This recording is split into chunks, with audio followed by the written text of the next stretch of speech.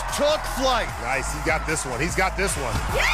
The 15-year-old sensation from Garland, Texas had the fastest time in qualifying, and he put on another show tonight. Okay, I see you, man. The soon-to-be high school junior cruised to the back half. Look at that strut. That strut is the cool kid strut. And he was one of the few to take his chances on the tuning forks. Nope. Oh, oh, oh! Spot in the top 15. We will see you in Vegas, Flyboy Ninja. Congratulations.